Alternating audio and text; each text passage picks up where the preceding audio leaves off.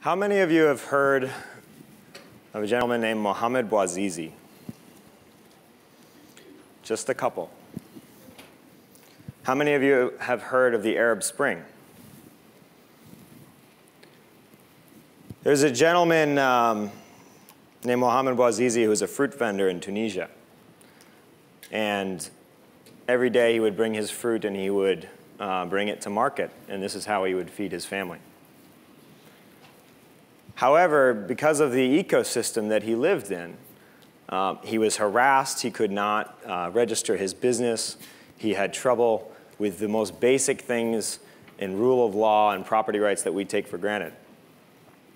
And he became so desperate over and over again that he got in a fight with a police officer who spit on him, took away not only his fruit, but his right to be on that street corner. He walked to the governor's office that day and he cried out, How do you expect me to make a living? And he lit himself on fire. I don't think any of us in this room can imagine the desperation that goes into an action like that. But that was the start of the Arab Spring. And the Peruvian economist Hernando de Soto interviewed all of the survivors and the family members of the people who followed Bouazizi's unfortunate example and lit themselves on fire in self-immolation and protest. And he found a common thread. And it's encapsulated in what something that Bouazizi's brother, Salem, said. De Soto said, what would Muhammad say if he were alive today? And Salem said, Muhammad would say that even the poor should have the right to buy and sell. And I think that narrative of just basic entrepreneurship, having an ecosystem in which you can take the talents that you have and apply them to the service of others, whether it's something as simple as putting fruit on another family's table or building an app that can change the world. Those ecosystems are what allow people to build prosperity for themselves and their families. And so our next two speakers are here to talk about those ecosystems. They come from the North African and Middle Eastern regions. They're talking about how they're building the ecosystems here in this country and all over the world. Habib Haddad is a former vice chair of the World Economic Forum. And he, we have him here. We're lucky enough to have him here. Um, I'm sorry, the Council on, on, on Entrepreneurship specifically. We're lucky enough to have him here uh, at the MIT Media Lab. He's running the E14 Fund, which is taking all of the fascinating inventions and, and ideas that are here at MIT and helping, take, helping them take flight uh, with investment. We also have Ziad Sultan, who leads product management for Newsstand, which is Google Play's uh, news platform, which reaches over a billion people, including me. So please welcome these two wonderful people to talk about this important subject.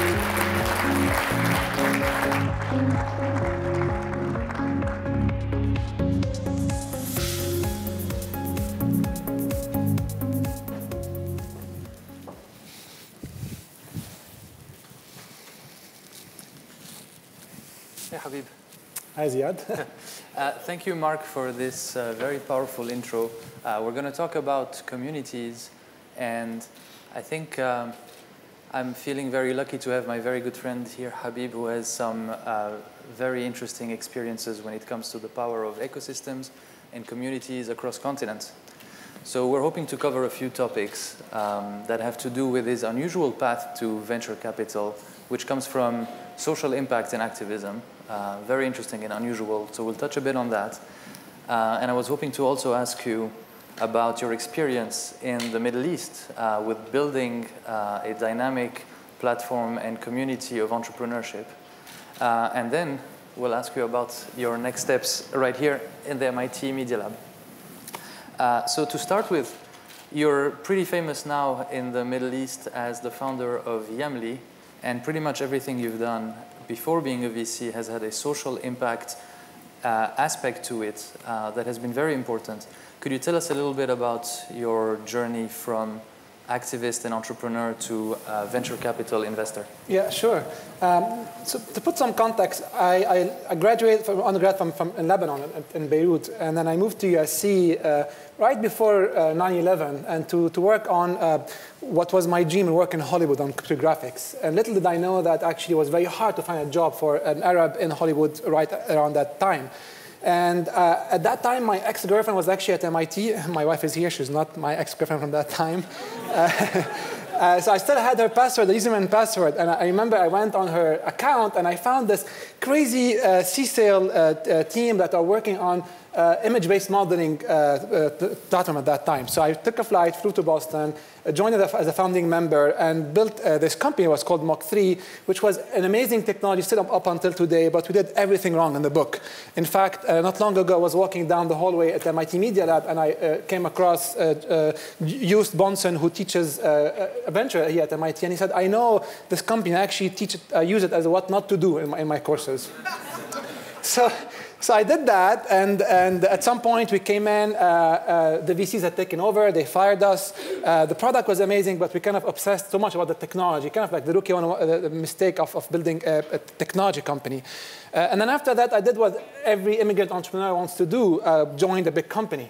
Uh, went to join ATI, uh, worked on the graphic card industry, uh, right around the time when GPU was taking, were taking off. Worked there for two years, right until I got my green card.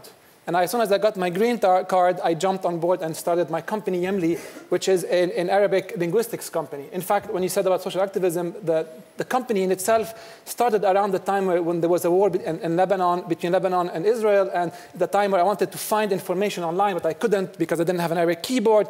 So the idea of being able to type phonetically using English characters came about, and therefore was the, the base of Yamli, around which was a search engine, et cetera, et cetera. Fast forward um, in 2011, completely uh, by, by, co by, coincidence, not by, by, design, I find myself in the middle of the Arab Spring. Uh, most of the people, of the leaders of that movement were uh, techies, were entrepreneurs, uh, people that I had been interacting with with my, my Yamli hat.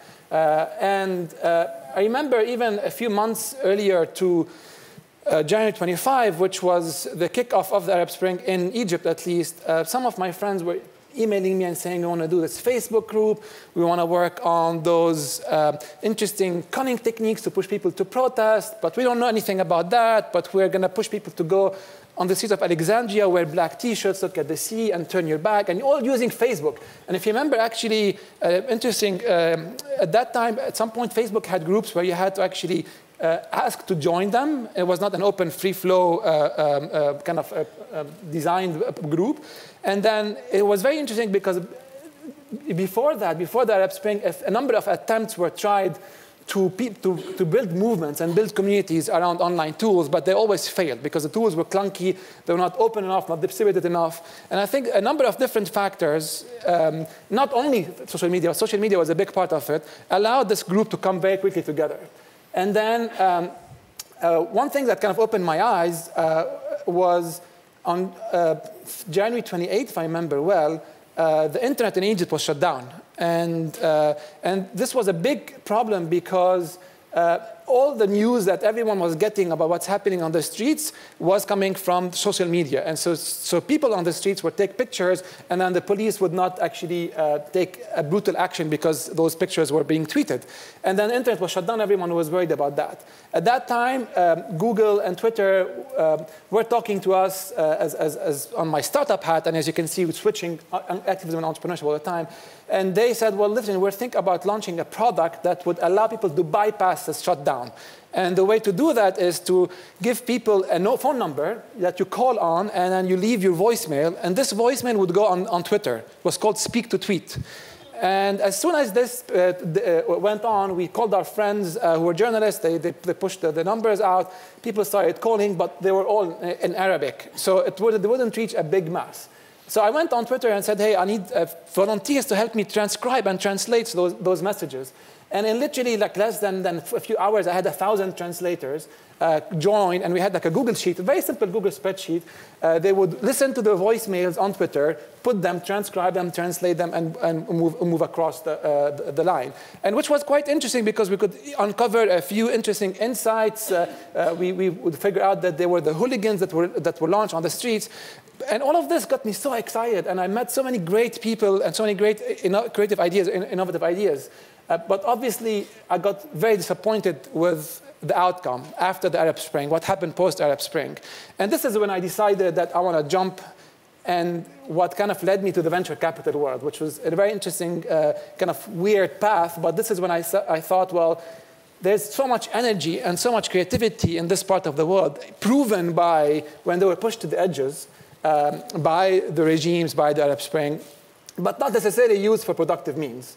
So I felt it was much easier to build movements against something than for something. It's much easier to say, I want to go fight this than I want to go and build a long-term sustainable plan to build, create jobs and opportunities and entrepreneurship. And so I took on this as my next step and moved to the Middle East at that time. So a very unusual path and filled with uh, social mission. And I remember from the very beginning, the mission of Yamli, if you can maybe remind us, just for context, the company that Habib founded, which is very famous in the Arab-speaking world, is Yamli, which is a transliteration engine. It's actually very difficult with an English keyboard uh, to actually interact with Arabic content, and that also leads to very little Arabic content created, very little Arabic content consum consumed online, right? So from the very beginning, it's a technology play, but to use Magat's uh, thing, it was not a pizza, pizza delivery app. It was literally a way to get Arabic content represented online for all sorts of very powerful missions. Um, so can you remind us maybe what was the proportion of Arabic content to Arabic population? Do you remember that? Uh, that was yeah, your, I remember it one was, of your key. Yeah, well, there was uh, there was approximately five to ten percent Arabic speakers online, but there was about 0.5 percent content at that time.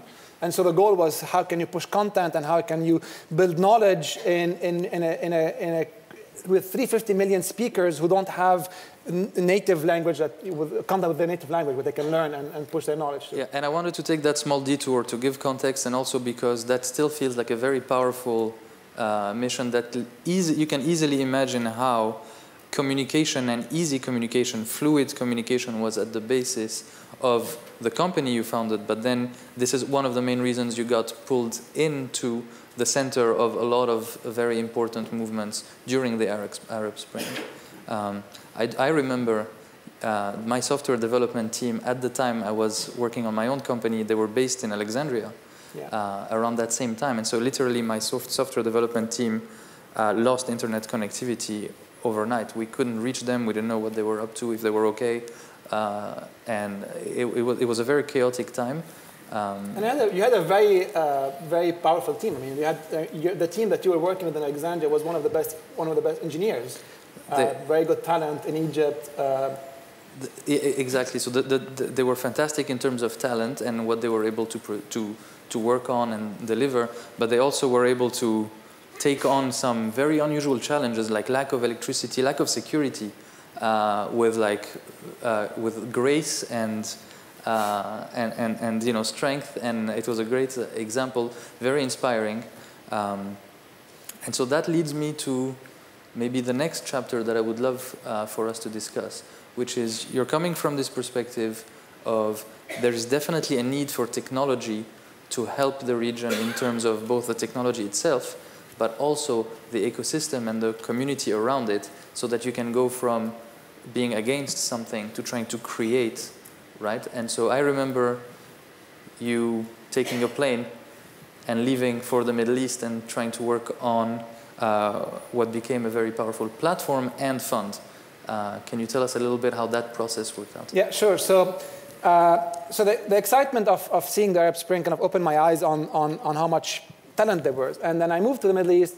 I mean, the reason was to build eventually a, venture fund, but, in, but starting with a community. Um, and if you, if you look today at most of the venture funds in the US, Sequoia and Andreessen Horowitz, they all have a fund first, and eventually they have a platform to support that. Uh, what was interesting in, in, my experience is that in emerging markets, uh, I had to create a platform first, and the platform was to develop the ecosystem. And as you develop the ecosystem, then you start investing in it. So if we started by creating what today became one of the biggest media arms uh, of, of, of, tech and entrepreneurship in the Middle East, kind of like the TechCrunch of the Middle East or called WAMDA. Then we built mentorship programs, we built accelerators, and was really kind of a, a very ad hoc, kind of fill the gaps uh, uh, endeavor. Well, let's build this. Oh, there's mentorship gap here. Oh, there's accelerator gaps here. Oh, we should go to work in Morocco or work in Kuwait or Saudi, whatever it is. And over time, we, uh, and we had a fund uh, as well, initially a small fund. And in emerging markets at that time, most of the VCs came from investment banking background around, and usually failed investment bankers because the funds are usually smaller. So the, the term sheets and the discussion, the, the negotiation with entrepreneurs were, was really, were really disgusting. So we had a really easy kind of gap to fill, but then the problem was on how to scale that. So we, we built a few things, and even, even eventually, in the Middle East, which is made of 23 countries, are, is a big market but fragmented because you have borders and uh, you have to figure out how to work across borders. We figured out as well that one of the interesting ways to scale startups as they grow was working with large corporates and large family offices who have been established in the region for a long time, have businesses, and are willing to uh, want to innovate, and they do that through startups. So fast forward, today we have a $75 million fund. Uh, we invest all across the Middle East. Uh, we came across a number of those war stories, uh, entrepreneurs, by the way, and, and we kind of have been able to build the platform and then eventually build the fund. And that kind of that, that told me how important and how um, un, underestimated is the power of communities. Uh, and I think we take it granted uh, in the VC industry and the entrepreneurship industry in the US but it's something that actually really is at the key uh, uh, first layer of, of ecosystems. So let me ask you a question. I believe that one of the most important parts of a community is some key success stories, right? Because it's more than just an example for everybody else. It actually graduates alumni who have seen the movie play out from nothing to a big company. It creates angel investors. It creates advisors, right? Yeah. Um, but how do you how do you create these anchor companies, and do you see that happening around the Middle East? And how is the community coming together around them? It's a very interesting question, especially when you start when you don't have too many successes. There were like a couple of successes, but not enough to make a, a, a big story around them. So that's why initially we started with a media company. And the media company, we were over celebrating the story, sometimes even pushing it a bit more than it, it is just to recreate a message. And we would take those stories of, you know, for example, there's uh, one of the entrepreneurs that I really like, uh, uh, Muhannad Ghashim, who was actually based in Aleppo. And when the war started in Aleppo, he fled to Jordan what, and eventually built one, what became one of the largest e commerce platforms in the region. Uh, so that's a story you celebrate, you share you talk more about it. That kind of inspires others. Another, another company is, is two guys, Elie Khoury and Jad, who were, who were based a bit north of Beirut. And one, when, when the war in 2006 happened, uh, they didn't have access to internet anymore. They, they had a dial-up connection. They built a company called Woopra, which is one of a big analytics company today. Um, and, uh, and they had to create their own um, compression algorithm because they were using dial-up. And this compression algorithm became the basis of their technology that actually moved in the valley and raised their, their venture back there. So those small stories, those are what you want to celebrate. And you kind of start activating small lights here and there in the community. And these kind of have a small radius of, of inspiration, not very large, but small radius of inspiration. And then you have to obviously put money where your mouth is and start investing more and more. And then until you create those success stories that are the unicorns. Only now that uh, this, the Middle East startup ecosystem became commercially viable. You're starting to see unicorns all over the place. Uh, you have acquisitions. Asian companies are buying left and right. And it's becoming one of those emerging markets that's there to grab. I see. And so on the point of the media company, as an avid reader of the posts that you guys were creating, I know there is a thirst for success stories. And so it actually is something very important. Even if it is not the next billion dollar company, just the daily accomplishments of an ecosystem being documented, being shared, being celebrated, I think is something that everybody there recognizes and uh, actually wants as part of this of belonging to this ecosystem. So I think that was extremely helpful to everybody. Even me from here reading it over there, I thought it was it was really yeah, helpful. And I think also, it's, I mean, uh, the fear of failure and all of the stuff that we hear about that i mean they're much more accentuated in emerging markets because you are you know you want to create a job for yourself you also it, it's not something that's very common being an entrepreneur and leaving what potentially could be a good job uh, and so, so just talking about it and make it more credible and making it more, the, putting it as, as heroes uh, of the region is something that was very important. And this is why, um, in retrospect, if I look at communities, I kind of uh, could, building successful communities around building three main key elements. Uh, communities of interest, communities of action, and of purpose. And when you combine the three, then you have a very powerful movement. Uh, so interest is around, uh, you know, in this case is around entrepreneurship, is around just building tools, technology, and it manifests itself. We did it through the media platform, but it could be done around anything else. If we have an interest in VC, we come to the conference, we, we read stuff about it. So we linked, but with a very weak link. The second thing is action. So bring people together to build really cool projects. So we used to do those workshops with, with MIT Media Lab, where each year the, the, the faculty and some, uh, some students would go, and for a couple of weeks long, we bring startups and, and, and faculty members, and they build really cool uh, innovations on smart cities or how to uh, work with how to get old cities more, uh, uh, more risk resilient. And so this is kind of the action part, we bring people together. Arab Spring was an example of the action part. Uh, and the third, third the most important thing is purpose. You kind of keep, keep reminding the community that it has a bigger purpose than just being a group of people linked together. In this case, was creating jobs, was dignity, was pushing the future of the region together, and that's very important when you build when you want to build long-term communities. Unlocking potential and talent, I think, is one of the big ones. You have people who are extremely talented, very dynamic, and just having that avenue, uh, and not depending on just local opportunities, but creating your own.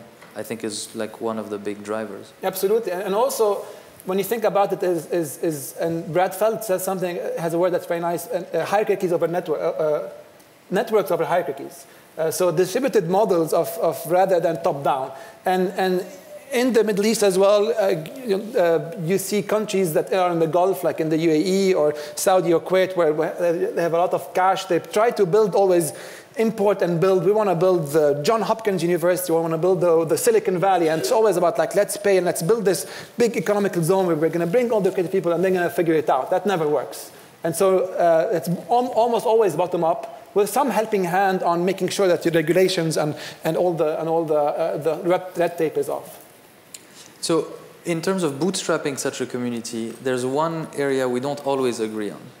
And it's the role of adapting existing technologies locally, which you call copy-paste innovation, or actually transformational stuff coming up locally with things that are worldwide uh, like impact. And of course, the second one, the worldwide coming up with the next transformational technology is more glorious. Um, but is there room when you're dealing with a community that is not yet completely mature and has a lot of opportunities to create these kind of dynamics to actually adapt locally successful models from elsewhere and create some success stories that trains engineers, designers, uh, that gets the capital flowing, that gets success stories going. Uh, and does that help as a good way to bootstrap a, such a community? Uh, so, so what is your, what's your point? What, what, what's your one sentence? You don't, you don't believe in copy paste, or so that we can get people to vote on which ones they agree with. so my, my, take, and I remember calling you on when you were catching the plane on the way to the Middle East, you know, um, was don't neglect the copy paste because it will stimulate innovation and success stories. And I'm not saying you did neglect it, but I think the, the mind share is always more present on the other stuff like we're going to create something completely new. Um, but I think the first one is a great way to also like put money, ideas, talent to work on success stories. So I think it's powerful. Yeah. No, I, th- so I think actually we, we do agree. no, we did. We didn't agree five years ago. so I think I mean the thing is. Um, uh, you see a lot of copy paste innovate. So the Amazon of the Middle East, Uber of the Middle East. But usually it doesn't stop at just having uh, the right business models, or business economics, and just building a company that does e-commerce, whatever. It usually happens where they have to build many things around it. So Souq.com, which is um, the first unicorn a few years ago, became a unicorn in the Middle East, basically uh, had to build their own um, e-commerce platform, but then they had to build their own payment as well because they could, the credit card penetration was low and people would use something called cash on delivery. And cash on delivery, where you, you say I want to pay with cash, but once it gets delivered to your door, the impulse buying is lost, so you said I don't want anymore. And if you're shipping across border, then they have to give stuck in customs, a whole issue. So to, to fix that, they, they create those, those scratch cards that are available in many different emerging markets. That became a different company on its own. They also had to create their own uh, logistics company because last mile delivery was also a pain in, in, in some countries. So um, there's always a copy paste, but there's always an innovate next to it. Uh, and I think that the difficulty of building business in emerging markets also builds walls. Uh, and so other uh, international competitors have a much tougher uh, way of actually entering those markets. Okay. All right, so we agree more than before. um, but speaking of when you were on the plane on the way to the Middle East, what was your first investment while you were heading there. It was, it was in my company, so big disclaimer. Um, but it brings me to the next question, which is what is the role of your existing network as an investor, and how does that relate to your next step as somebody coming back to lead the E14 fund at MIT? So, uh, I mean, I'm a proud investor in Ziad's company. Uh, friends and investors. Uh, and, and I, I, was telling Ziad before we, we, got on stage about how important I think as an early stage investor you have to build a relationship with the entrepreneurs. And, um, uh, and it's really about the, the, the personal connections that, that, that one has to build because most of the time, and a lot of VCs would come and say, we bring value and we're going to open doors and we're going to create this whole amazing thing for you, but really it's all about the entrepreneur. And, if, and, and, and, the role of the VC is very much a, a, a, guiding, a sounding board and a guiding person more than anything else, and also a therapy provider, a, a therapist. And uh, I'm not, I, I have been his therapist. I would lie on the couch. As, as, he, as, he, has been mine in many different cases. but it's very important to build that relationship. And um, I'm actually quite lucky now that I, am moving and I'm building um, the E14 fund, which is a fund that initially was incubated at the Media Lab and now is spinning uh, out to, uh, to focus on all of MIT, where I could build those relationships early on with uh, students that are still within, are thinking about, about spinning off companies. I think it's very important, not just because uh, we need to be aligned. It's not about I have to be friends before to invest, because I really need to know who you are. I need to know who I am. I need to know how to interact, what, how, how you like to work, how, to, how you think. Because at the end of the day, as an early stage VC, it's really about pushing you to do the best what you can and giving you my network. And you have to figure this, this out in fact, when I first moved and, and I'm trying to figure out MIT, I'm new to MIT, uh, I realized that there's so many programs all over the place, really amazing programs, uh, but there's so many of them, it's, it's, lost. There's like a map and, and like I don't know who's what and, and, and, and where I can get money, etc. And I was like trying to figure it out, but I was, I was talking to students, I realized, you know, you don't have to because the good students, they, know, they have figured it all out. They get all the free money, all the free network, all the free support. They just know how to work, work the network uh, out. So it's really about putting it out, making sure it's accessible. And as, a, as, a, as a, someone who has gone through the motion as an serial entrepreneur, as an investor, it's about just giving you advice here and there, but also being sure that you are there at all times in terms of the support they need. Okay, and I have one question, but I don't know if we have time for uh, opening up for the Q&A after this question, or was this the question and then we have to wrap up.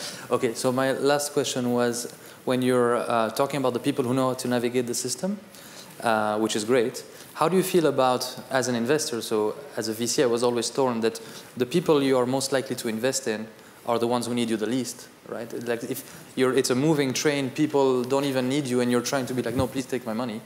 On the other side, uh, you have people you think you can really help and if they just get things started the right way, uh, it could be a very powerful story. And how, how do you kind of navigate the two? I see it as, as, more of a very long-term game. Uh, I don't think you can find a company that's moving very fast and just the company will not move fast. It's not like an, an abrupt uh, binary thing where sometimes it's moving slow and then it's going to move fast very quickly. It's moving fast from a long time ago. So you have to catch it early on. And to catch it early on, you have to put, position yourself and really be a very friendly and very thoughtful uh, investor that's going to work and open up your doors and all of that. Uh, actually, um, Joi Ito, who's the director of the Media Lab, has something that's, that's you know, has, he has his book called Whiplash, which has 10 principles. And, and he, one of, two of his principles apply to your question. One is power of pull, uh, and it's the idea that you actually uh, position yourself and you work within the, that you actually pull on the network rather than push on the network. And if you, if you are in a position where companies will actually come to you, then it becomes more, much more easier than you actually pushing on that. And number two is uh, the compass over map. So rather than, than thinking about, about this is the strategy you want to go after and really planning for it, it's about just being able to have a, a compass and to, to navigate that system. It really comes down to a mindset approach. Uh, and so at the Media Lab, for example, even the companies that, that spin off and we don't invest in, like I always, we always make sure that we create a community that we link them back, and eventually they'll come around. The next startups, when they want to launch it, they'll come around. All right, Habib, it's been a pleasure to see you uh, improve the community in terms of activism. It's, it's been a pleasure to see you push the community in the Middle East. And as I'm looking, your investor. as my investor, and, and looking forward to your efforts in the MIT community and the Boston area. Thank you.